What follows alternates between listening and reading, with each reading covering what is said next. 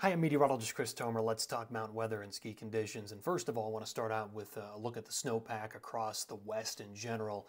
And uh, notice most areas need more snow. It, it has been tough. The uh, slow start to the season has really dragged, dragged on and dragged the snowpack down, and we've suffered with most of Utah and Colorado running 60, 70, maybe 80% of normal, um, except for extreme southern Colorado around Wolf Creek.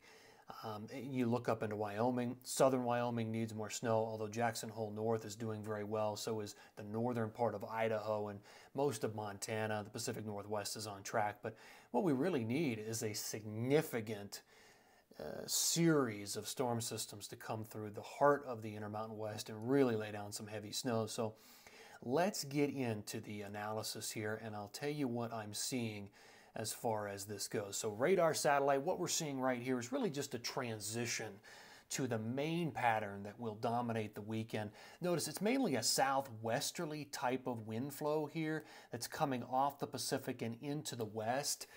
This is um, this is okay. This is nothing significant, but it will lay, lay down some new snow through parts of Utah and into western and southwest Colorado. But this is not the be all end all. Again, this is mainly just a transitory pattern to kind of get us to the next phase.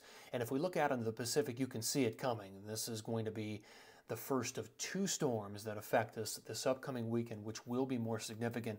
I'm seeing that comet shape. See it out way over in the Pacific? That line of clouds and that spin is what will be working its way into the uh, the west and eventually the intermountain west by the time we get to this weekend. And then there's even another storm behind that, which will be significant as well and drag some Arctic air down across uh, the intermountain west and then eventually into the heartland. But as we move through time here on the future radar, notice the snow continues in western and southwest Colorado on Wednesday morning. There might be some light additional snows coming out of uh, the Wasatch there, but again, we're not looking at anything huge there. Um, we, we, we might be able to squeeze out four to eight inches maybe a pocket of heavier snow there in some places across western and southwest Colorado, but by and large that moves away. Then we sort of refocus. And what you see to the north happening here is part of an Arctic boundary that's going to kind of set up through the northern tier of states and we'll start to snow, but again, really the action comes in as we kind of move into the end of the week and then into the weekend. Watch as we transition out of Thursday and into Friday here on the future radar. We'll start to notice some activity hit the west coast. Look at that. And then the whole thing begins to move in. Now, this is where it starts to get exciting. Um, it starts to, there's a joining or a meshing of the west coast low and the Arctic boundary that's dropping down through Big Sky and into Jackson. And what will happen is this is going to load up the Wasatch, it'll load up the Tetons, and it will start to load up the central and northern mountains of Colorado with some snowfall as the two sort of mesh. So this is Friday at 5:15. Even the Sierra will be getting snow, and so will the Pacific Northwest. But look what happens here on Saturday. The whole thing gels and moves through Salt Lake, the Wasatch, the Tetons, and into Colorado. There will be some significant snow totals as I'll show you. I've got two snow plumes to show you as worst case scenarios. But look to the Pacific Northwest. So that is that second storm system I was talking about that will also move in during the weekend and start to affect uh, the Wasatch, the Tetons, in Colorado with colder air and more significant snowfall. So this is a lot. There's a lot here. Um, this is good. We have sort of a, a, parade of storms lined up as we head into the weekend. So if we start looking at snowfall accumulation, um, again, mainly in the uh, the first part of this, what we're looking at is just some snowfall through parts of Colorado. It does not look like it's going to be anything huge. This is by tomorrow.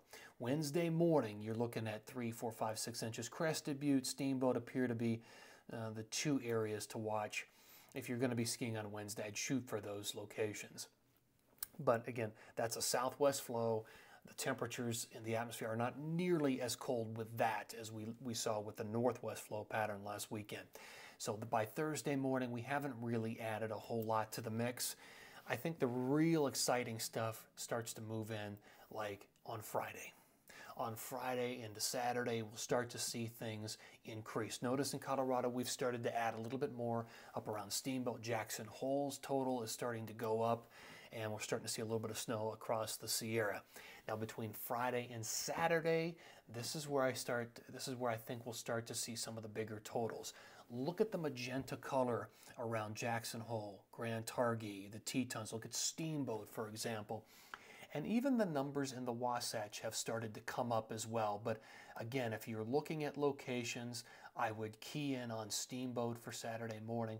I would look at the Tetons up there around Jackson Hole and up around Grand Targhee. And even between Friday and Saturday, I would definitely start to look at the Wasatch. I think these are these are probably low to conservative, these estimates, and most and probably falling into the most likely category in others, but these are not extreme cases. I'll show you the extreme cases coming up, and even the Pacific Northwest has tallied up some nice totals. Now let me show you what the extreme cases.